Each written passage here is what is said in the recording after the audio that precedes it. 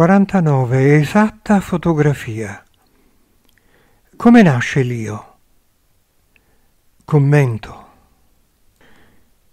L'io nasce dalle materie dei corpi inferiori, fisico, astrale e mentale, che sostanziano l'io in proporzione dei bisogni evolutivi dell'individuo.